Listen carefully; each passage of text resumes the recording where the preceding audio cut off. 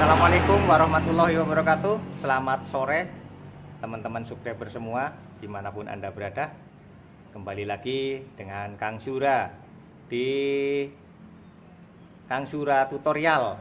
Ya, Di kesempatan sore ini Saya akan coba membuat alarm Alarm anti maling ya, Dengan alat yang sangat sederhana dan sangat murah. Harganya hanya Rp3.000 bisa jadi alarm super aman. Oke bro. Kita cukup membeli saklar ya bro. Nah nanti kita akan coba jadikan untuk jadi alarm. Oke bagaimana caranya? Kita pertama-tama buka buka tebeng depan. Kita buka semua bautnya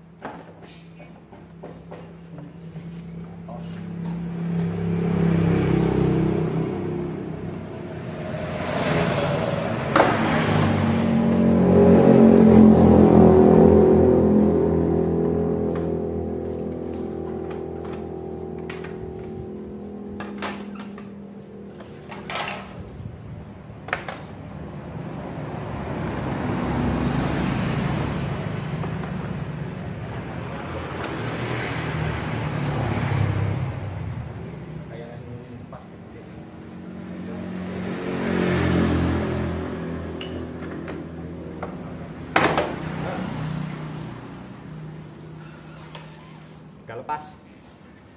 Oke. Alarm yang saya maksud itu pakai ini klakson ya bro. Nanti kalau ada maling yang mengaktifkan motor ini otomatis klakson ini akan bunyi sendiri bunyi terus.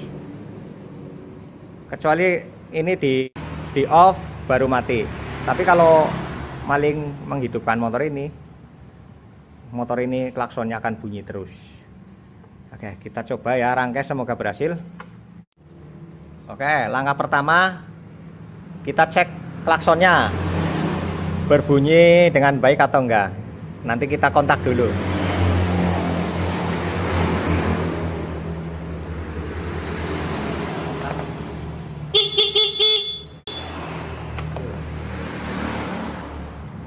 Oke. Kita akan mulai untuk menyambung saklar alarmnya. Apa klakson Yamaha itu yang diputus itu negatifnya. Jadi positifnya harusnya mengalir terus ke sini, tetap ada. Nah, yang diputus dari saklar tombol klakson itu yang yang negatif yang ada arusnya warna coklat. Ini pasti ada arusnya terus. Ini isi arus terus. Oke? Berarti kita akan sambung saklar yang negatif. Kita cari jalurnya yang negatif ini. Nanti kita bikin saklar.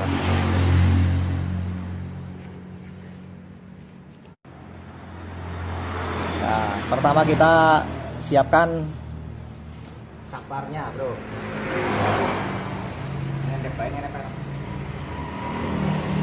Saklar, kita siap untuk menyambung saklarnya.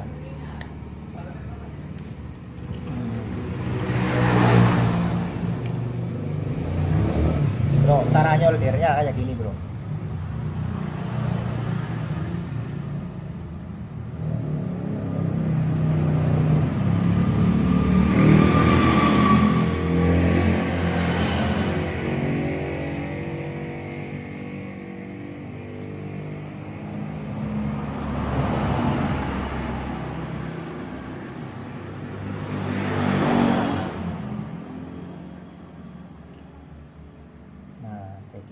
Kita panasi lagi.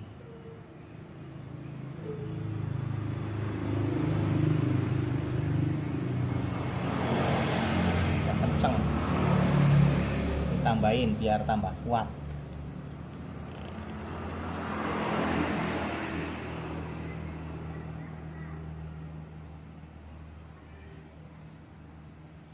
Eh kuat banget.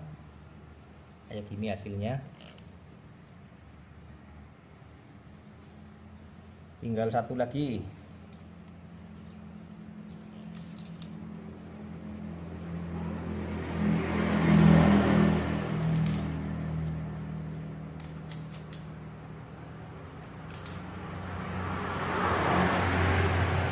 satu lagi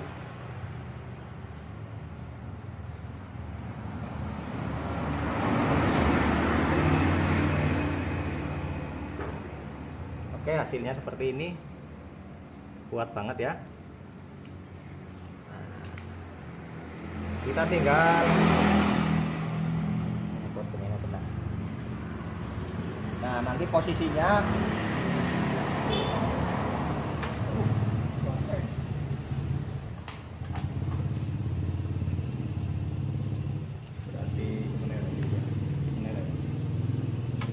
Oke nanti kira-kira segini bro terserah mau ditaruh di mana mau di saku ini. Tapi sangat mudah terdeteksi bro kalau di sini. Kita mending di bawah ini.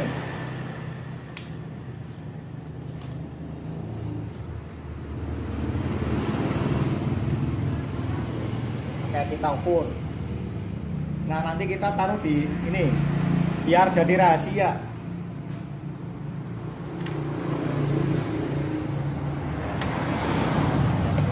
kurang lebih 40 cm lah.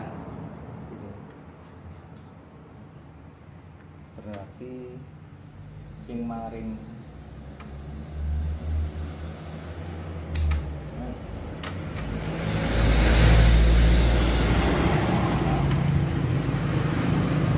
Ini maring ya? Oh. Iya. Set, set, set, set.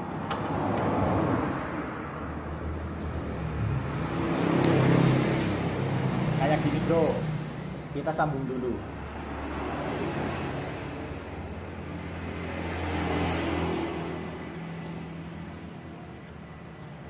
Kita buka lagi.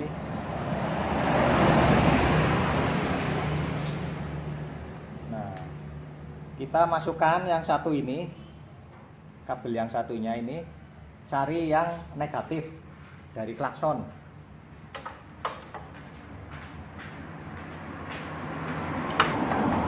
kita langsung saja masukkan ini.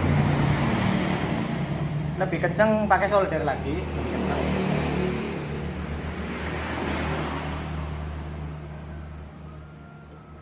Nah ini negatif yang kita salurkan. Negatifnya wah. Ini yang satunya. Sebentar bu. Sebentar. Tolong yang mana?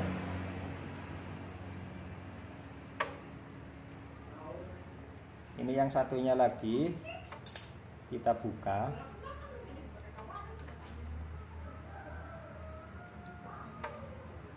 Kayak kayak gini bro. Kita bisa nyari ke baut ini bisa ke baut-baut bodi lah pokoknya.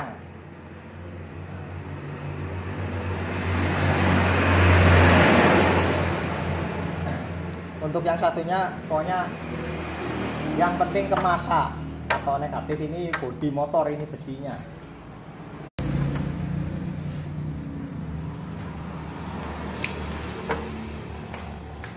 satunya kita jempet. Jempet di sini bisa.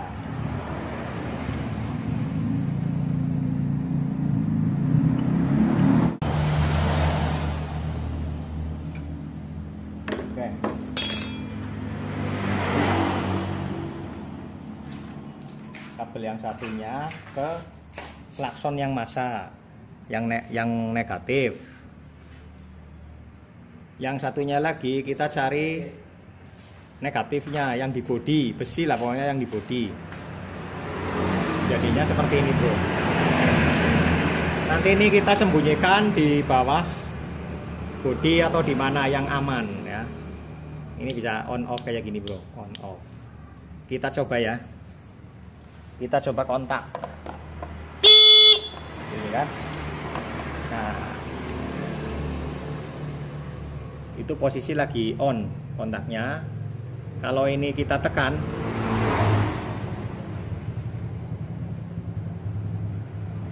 Kita tekan.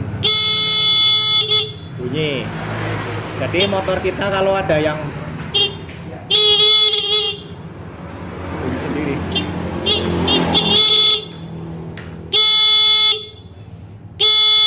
Tuh. Nah. Oh ini nyenggol bro ini belum dibungkus nyenggol gambarnya burung temen ini Oke. Kalau kita on kontaknya dia nggak bunyi. Dia nggak bunyi. Ya, nah.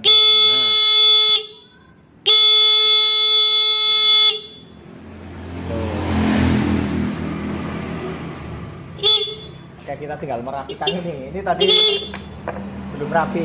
Ini belum rapi soalnya. kepanjangan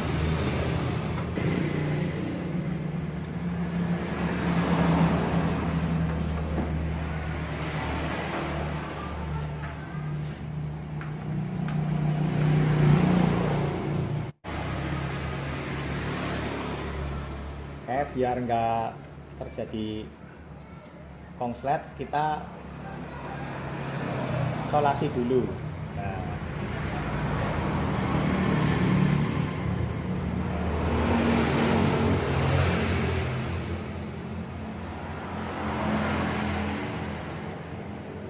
aman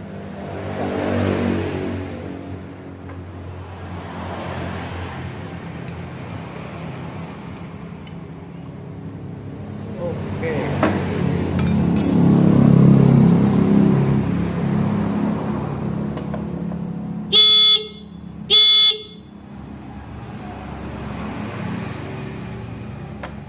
coba kita pasang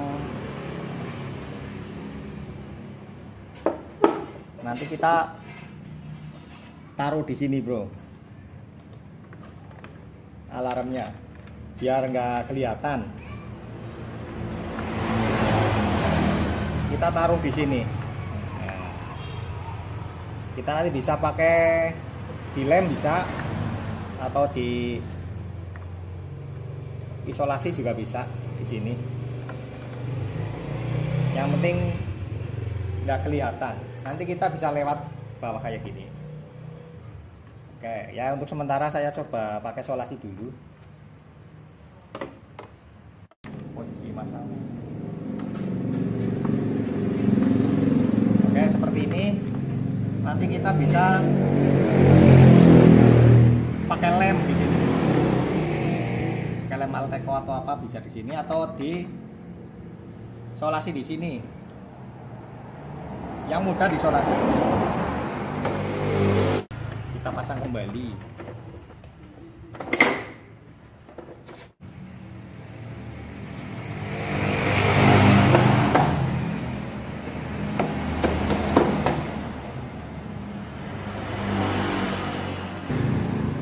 Nah ini hasilnya seperti ini.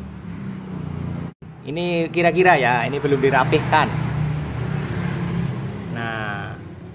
buat contoh saja. Ini tombolnya ya. Ini ini. Ini tombolnya. Kita bisa dilem di daerah sini yang kejangkau terus kalau nggak diisolasi kita kaitkan dengan yang ada di sebelahnya di sini. Bisa. Oke. Ya kira-kira seperti itulah. Bisa juga saklar ini ditaruh di tempat lain. Bisa.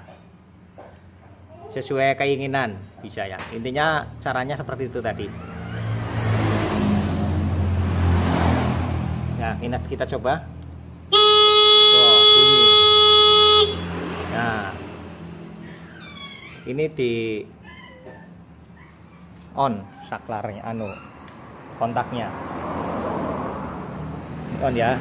Kita matikan nah kita matikan.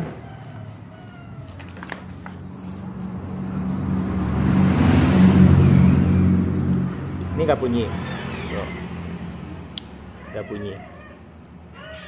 Coba nyalakan lagi nyalakan. Dinyalakan. Nah ini mat. Itu masih nyala kontak. Nyalakan kontak. Nyala. Nyala udah nyala oke nah ini kan posisi mati. Nah kita kalau mau ke pasar atau ke mall atau ke mana saja itu masih nyala ya Yul? Nyala. Ini posisi nyala. Nyala. Ini berarti saklarnya off. Kita on kan dulu. Ini berarti off ya. Ini posisi di kontak nggak bunyi. Nah kita mau pergi ke mana? Mau meninggalkan motor. Kita matikan nah cabut kunci setang. Setelah itu jangan lupa ini alarmnya. Flag nah ini sudah alarm sudah aktif. Alarm sudah aktif kita bisa meninggalkan si motor. Nah nanti misal ada maling ya kita mau congkel motor biasanya pakai kunci T nah. Begitu. Begitu nyala ini bunyi. Nah misal ini kunci bandrek dari malingnya. Nah, intinya maling kalau mau nyuri motor pasti dipaksa dihidupkan. Pakai kunci paksa nanti jadi bisa dijalankan motornya. Nah kalau motor ini teraliri setrum arus listrik dari aki klakson otomatis bunyi begitu bro Ya, tutorial cara membuat alarm anti maling dengan harga Rp3.000. Tadi sudah saya praktekkan dan alhamdulillah berhasil. Teman-teman bisa coba di rumah. Semoga kendaraan kita jadi lebih aman, kita meninggalkan motor lebih tenang. Oke, Bro. Terima kasih semuanya yang sudah hadir. Semoga bermanfaat. Sampai ketemu lagi di tutorial Sudah Blendong selanjutnya. Terima kasih. Assalamualaikum warahmatullahi wabarakatuh.